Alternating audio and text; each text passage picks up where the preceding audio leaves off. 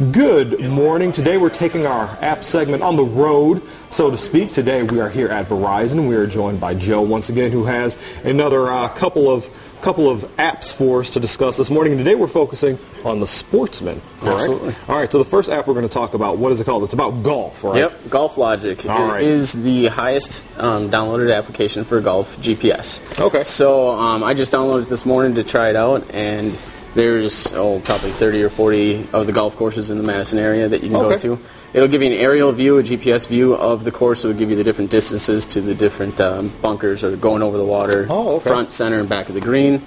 Um, keeps track of your score. You can ch- keep track of your handicap off wow. of the courses information and everything. So pretty much anything you could think of that you need for golf, well, that'll do it for you. Okay. Now, are you an avid golfer, just out of curiosity? I am? Yeah. very much an avid golfer. Would you actually use this app? Absolutely. All right. You think it would be beneficial on the golf course? Yep. I've used other ones, and this one blows them away. Oh, okay. All right. Free app, paid app. Uh, free app. Free app. Uh, Android market and iPhone? Yep. Both All right, you can get it on both, and it's free. Mm-hmm. Perfect. All right, moving along now, we're going to talk about another one, not necessarily that's going to help you with your game, but help you keep track of some of your games, and this is ESPN Score Center. Absolutely. All right, what is Score Center? So Score Center will help you keep track of all your teams, your players, fantasy um, fantasy teams that you have going on, um, and basically just helps you keep track of everything that's going on in football and any other sports as well. Okay, and of course, it'll only keep track of your ESPN fantasy scores, Correct. not necessarily if you have something on another uh, system or service or anything like that. Absolutely. All right, free app, paid app. Free app. Free app, and where can we get it? Um, both Android and um, iPhone. both Android and iPhone. All right, very nice. And now the final two things we're going to talk about. This more specifically deals with your,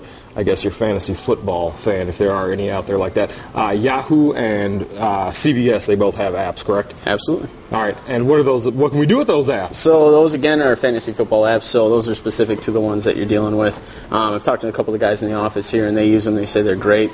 You can uh, bring players off the bench, put bear- other players on the bench, um, and manage your your fantasy football team while you're going. All right, Joe. I have to thank you for giving that explanation because a little secret about Joe out there does not play fantasy football. No, And I fortunately hope that everyone here at Verizon, once we leave, makes fun of you relentlessly for that. They've started. Good. Thank you very much, Joe. We appreciate you taking the time, and letting us uh, come down here again, and we will see you next month. Sounds good. All right. All right, Amy. Now I should tell you, I'm going to have a chance to put some of those apps to work because uh, tomorrow night, big night for me. Big night. I have my first fantasy basketball draft, so uh, I'll be able to use some of those apps to uh, keep track of my scores. I'm a little nervous going into it. Never done it before. Never done the fantasy basketball. So, But uh, thank goodness it all occurs indoors. oh, could you imagine if it were outdoors? How horrible would that be? I couldn't do it. Keep it here. We'll get you caught up on all the local headlines you need to know before heading out this weekend. I'm going to check out your Weather Authority forecast. It looks like we'll have some clouds and light rain. More details next.